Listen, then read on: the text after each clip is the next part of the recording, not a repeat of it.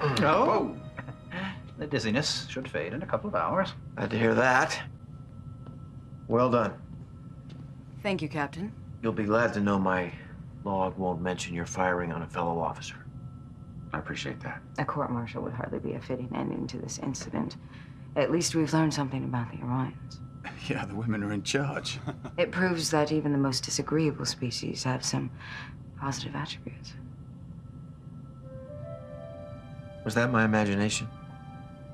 I don't think so. It almost sounded like you were making a joke. At least trying to make one.